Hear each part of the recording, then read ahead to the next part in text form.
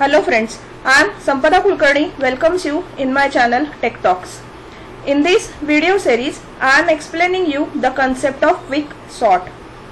Before moving to the quick sort, you must know the what do we mean by quick sort, why it is called as quick sort and how it is helpful to sort the set of values.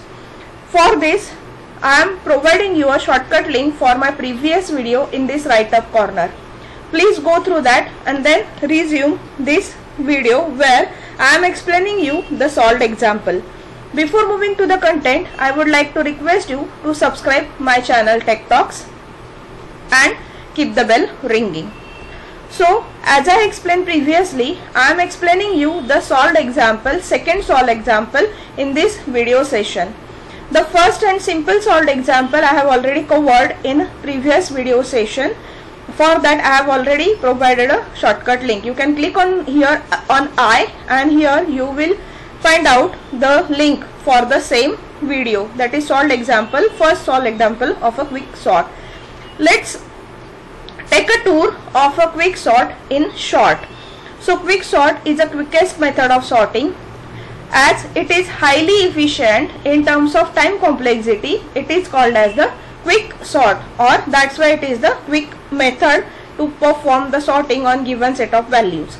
It uses the divide and conquer type algorithm because it divides the list into the sub list and it conquers the result that is nothing but a sorted list at the end of this algorithm as I explained, as it is a divide and conquer algorithm, it is based on the partitioning technique of the array as it divides the array into the smaller arrays or the sub list.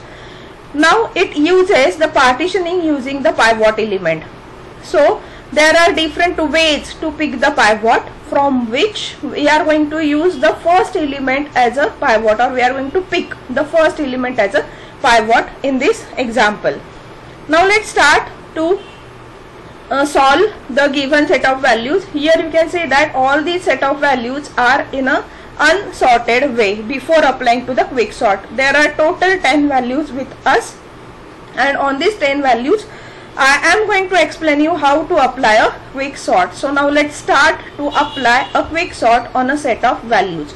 So here are the set of values and let's start by picking the first element as a pivot element after picking the first element as a pivot element, as far as your algorithm is concerned that I have already explained how to uh, how this quick sort works. In that I have already explained the steps. How are you going to apply the quick sort so here you supposed to start with the first element. Let's make this as a pivot. And now let's start with this element and compare.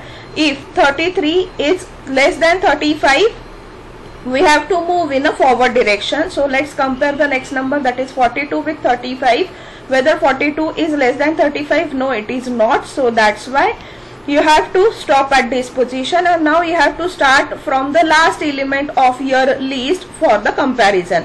Now let's compare 31 with 35 what the comparison you have to do? This number the last number is should be greater than pivot if it is greater then you have to move backward. Otherwise you have to stop at this position. Now this color change indicates that here we have stopped for moving forward as well as for moving backward. If these two positions have not crossed with each other what we have to do? We have to swap these two numbers. That is 42 will take the position of 31 and now 31 will take the position of 42 and after taking the position your array will look like this now let's start the same thing again. Again compare 31 with 35 as 31 is less than 35 we have to move forward. So let's move forward and compare the next number that is 10 with 35 is it greater than uh, sorry less than 35 yes. So that's why move forward. Let's compare the next number. Whether 14 is greater than 35 yes Uh, I'm so sorry whether 14 is less than 35 yes it is less than 35 so let's move forward. Let's compare 19 with 35 whether 19 is less than 35 yes move forward. Let's compare 47 with 35 is 47 is less than 35 no. So we have to stop moving forward and let's start from the end of the list. Here you are supposed to check whether 42 is greater than 35 yes so that's why move backward whether 21 is greater than 35 no. So we have to stop.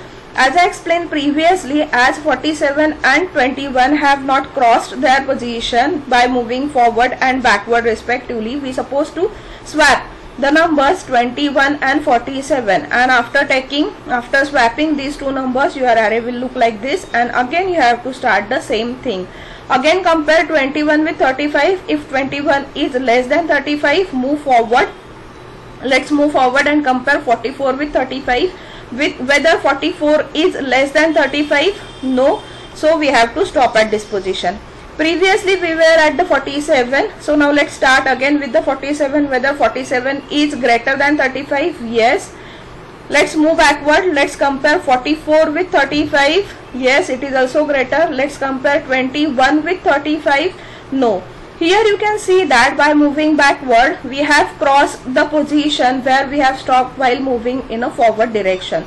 If this is the situation it indicates that this is the movement where we supposed to swap the pivot and the element from where we stop to move in a backward direction that is there will be a swapping between number 21 and 35.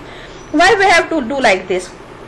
by comparing the numbers less than pivot we have moved forward and by comparing the numbers starting from the end as the number is greater than the pivot we have moved backward it indicates that we are finding the position of a pivot where it should get placed and after placing it here you can see that all the numbers which are there in the left sublist are less than the pivot though they are not yet sorted but they are less than pivot number and all the numbers which are present in the right sublist are greater than pivot. So this method helps us to secure the position of a pivot in a proper way and the now this 35 has secured the position and we are not going to move. Now 35 anywhere. Now as divide and conquer uh, uh, algorithm we are going to use here you can say that your list is divided into two parts.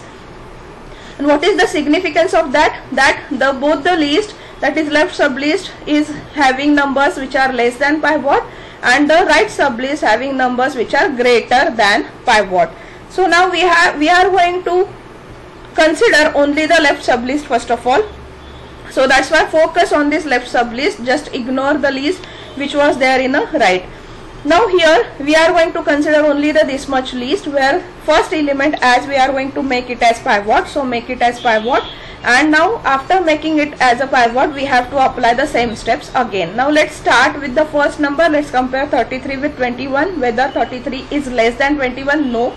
We have to stop let's compare 19 as starting from the last compare 19 with 21 whether 19 is greater than 21 no so now what we have to do? As they have not crossed their position, we should have to swap their positions. That is 33 will take a position of 19 and 19 will take a position of 33.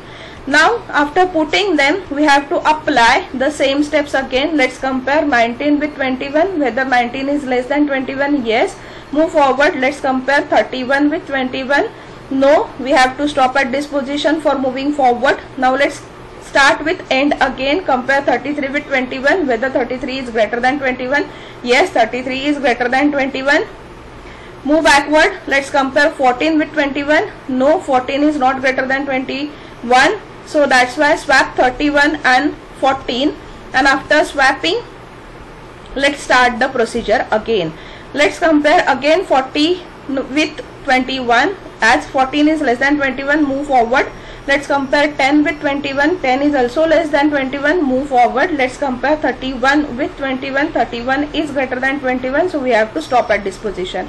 Again we have to start with the 31 because for moving backward we have stopped at 31 itself. So that's why yes 31 is greater than 21 move backward. Let's compare 10 with 21 no as 10 is not greater than 21 we have to stop. And here you can see that for moving forward we have stopped at 31 for moving backward we have stopped at 10 and we have crossed both the positions. So that's why it's time to swap the position where we have stopped for moving backward and the pivot number. So now let's swap both of them that is 10 will take a position of 21, 21 will take a position of 10 and after that here you can see that your list is divided into two again.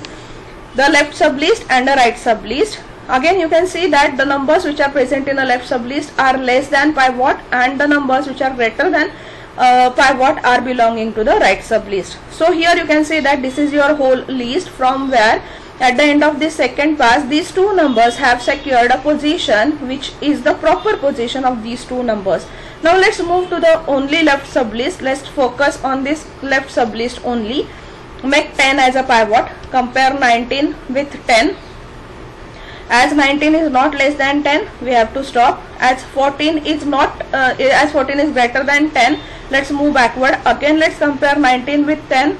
As it is again greater than 10 move backward but there is no any number present so that's why 10 is the proper position. Whatever the where, wherever the 10 was there it is the proper position and let's divide the list into 2 left sublist there is no any element is available so that's why ignore this list. Let's move let's move to the right sublist here you can see that after securing a position of 10 the list having three numbers who have secured their position. Now let's move forward to the only right sublist 19 and 14. Let's start the applying the same steps again. Let, let's make first element as a pivot. Compare 14 with 19. Yes, the condition is true as 14 is less than 19. Move forward. But there is no any element is available. Now let's move in the backward direction by starting at the end. Again a single number is there. That's why again it is compared with 19 as the condition is false what we have to do? We have to swap both the numbers as we have stopped for moving backward. And uh, let's take the position of pivot. And after putting 19 to the position of the um, 14 you will see that the list is divided into two again where a single number is present in a left sublist and there is no any element available in a right sublist. So now let's see the whole list again. Here you can see that four numbers are secured their position. Let's move in a left sublist. A single number is there. It means that it is only a pivot. No number is available for the comparison. So let's copy the number at the same position itself or the keep number at the same position itself. And now here you can see that the 14 has also secured a proper position. Now where we have to do? We have to move forward for these two numbers as whole these left list we are supposed to um, uh, sort first of all. So now let's move uh, for when wherever your number 21 was the uh, what we have done with its left sublist now it is a turn to move to the right sublist so that's why move to the right sublist let's make 31 as a pivot. Let's compare 33 with the pivot. Condition is false. Let's start again from the end and after comparison here you can see that 31 is has secured a proper position. There is no any element is available in a left sublist but a single number is available in a right sublist which is greater than pivot. And here a single number is there. It means that it is also secure, securing a proper position. Now let's move forward to the right sublist. Remaining three elements. Let's only focus on these three numbers. And now let's start the same algorithm again. Let's make 44 as a pivot. Let's compare 47 with 44 whether 47 is less than 44 no we have to stop at this position start from end. Let's compare 42 with 42 44 whether 42 is greater than 44 no. Here we have not crossed their position so that's why swapping must be there. That is 47 will take a position of 42 42 will take position of 47 and after that here you can see that the list will look like this. Let's compare 42 with 44 yes the condition is true. As we are moving forward and to move forward the number should be less than pivot let's move forward. Let's compare 47 with 44 no 47 is not less than 44 we have to stop at this position now let's start from end. This is only the last element so that's why again compare 47 with 44 as 47 is greater than 44 condition is true let's move backward. Let's compare 42 with 44 as the condition is false we have to stop. Now we were at the 47 for the moving forward and now we are at the 42 for moving backward. That is we have crossed the position so that's why the swapping must be there between the number from at which we have stopped to move forward sorry move backward.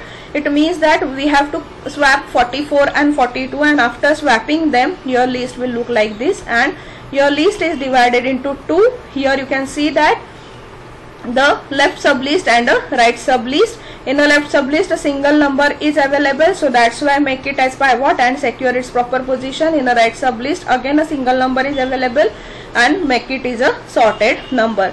And here you can see that your array is in a sorted way after applying a quick sort.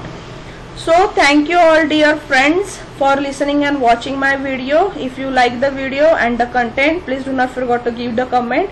If you are having any query you can also post your query in a comment box. I'll try to solve it. For your reference i am providing you a shortcut link for the subscription of my channel. Please if you have not subscribed my channel do subscribe it for the enjoying the learning of data structure. For this quick sort I am providing you a shortcut link for the next video of this video series and the whole video series also I am providing in a in the form of playlist. So thank you. Stay tuned with Tech Talks. Happy learning. Happy data structuring. Thank you.